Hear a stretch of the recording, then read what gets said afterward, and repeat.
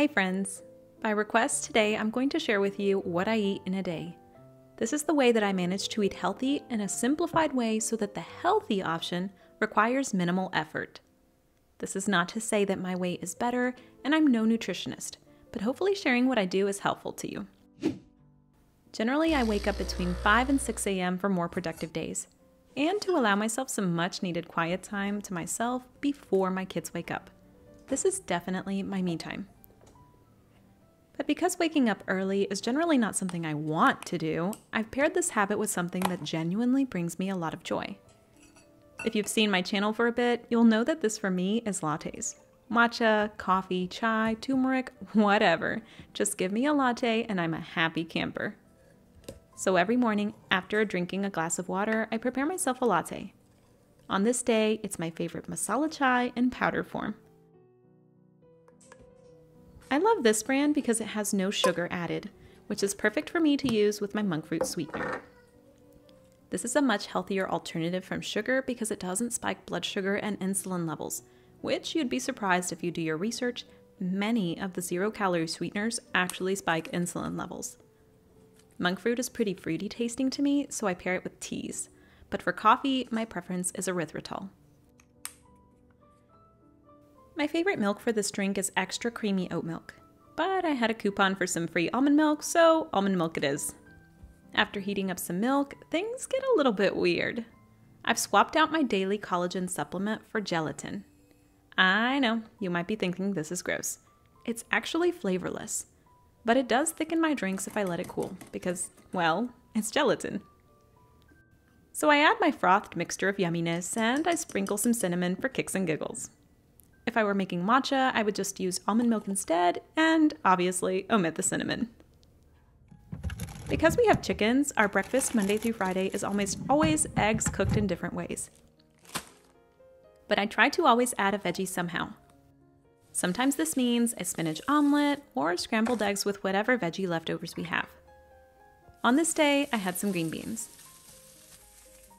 I add some salt and my favorite seasoning for this, Mexican Tajín. It's a chili lemon spice mix that's more tangy than spicy. But I removed the label because, well, visual clutter, you guys. Will. Will? W I L L. Will. After a bit of homeschooling, I like to take a break by having my kids help prepare their own snack. So, generally, this is something easy and quick to prepare, such as berries with a plant based yogurt, or my youngest favorite, spinach and banana smoothies. He loves it, and you actually can't taste the spinach. If I want to make a protein version, my favorite protein powder by far is Sun Warrior in either vanilla or strawberry. This is what I used every day while I was on clean keto because it doesn't spike blood sugar levels, it's low carb, it's plant based, and it doesn't taste chalky like most protein powders do. By the way, I'm not sponsored by any of the companies that sell any of the products that I mentioned today. These are products that I've purchased with my own money that I've been using for a long time. If you are interested in trying any of them out, though, I will leave a link down in the description box so you can check them out. I have separate videos where I talk about my experience with the keto diet as well as what I ate, and I want to make it very clear that my primary goal was not to lose weight. I think I was like nine months to a year postpartum when I tried it, but what my initial goal and the reason why I wanted to do it is because I realized that I had a lot of inflammation in my body and I wanted to give my body a reset period. So I did it very, very differently than what you might typically see on social media. And that was because I had a lot of eczema, I was hyperthyroid, I had joint pain, I just had a lot of things that made me realize I needed a break. And so I did it very, very, very differently.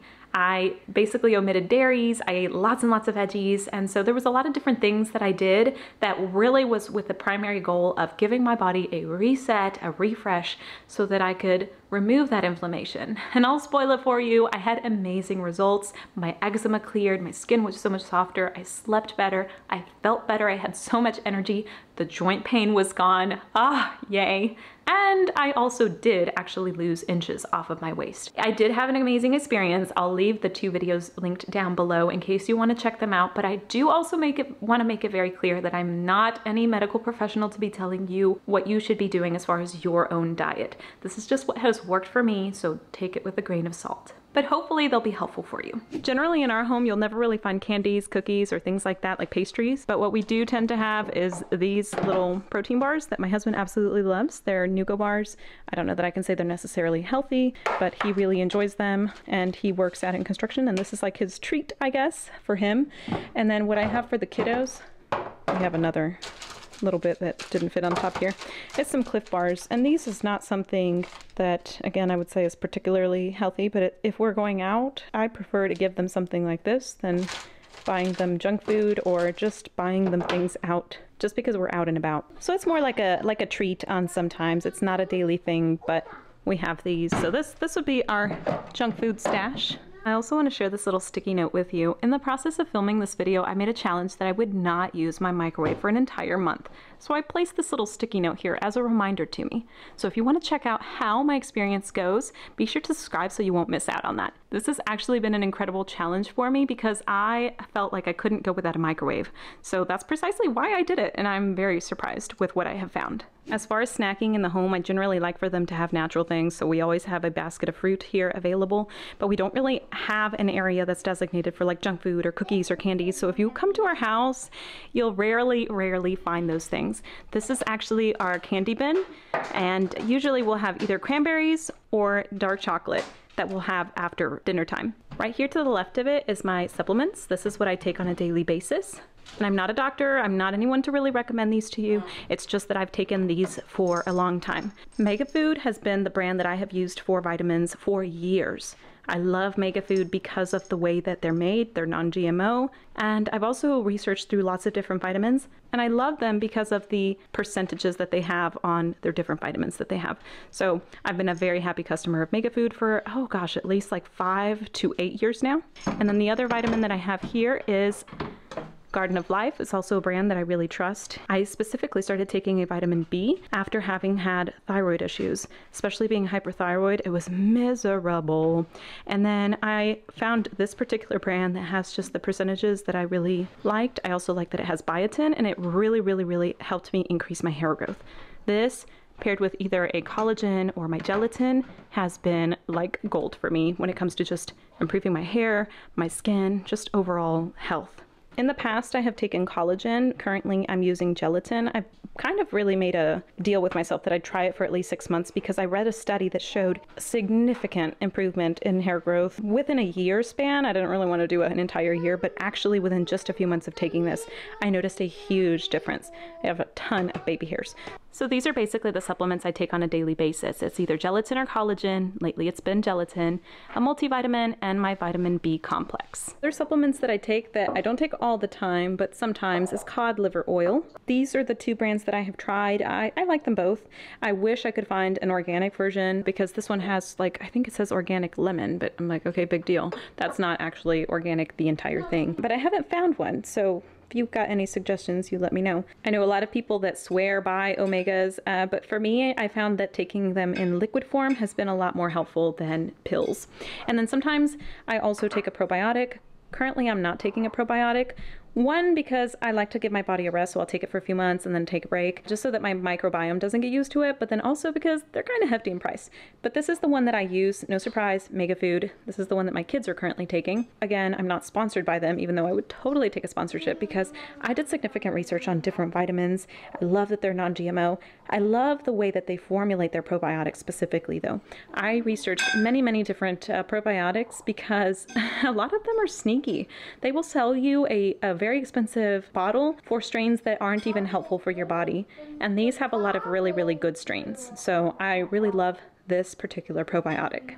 Our body is mostly bacteria, so it makes sense that a probiotic would be helpful. But a tip if you've never taken a probiotic for is that they should be stored in a refrigerator because they're a living organism, so it makes sense that you'd want to preserve them. And nobody asked, but I'm going to show you our pantry. This is basically where we store all of our canned goods and all of our processed foods.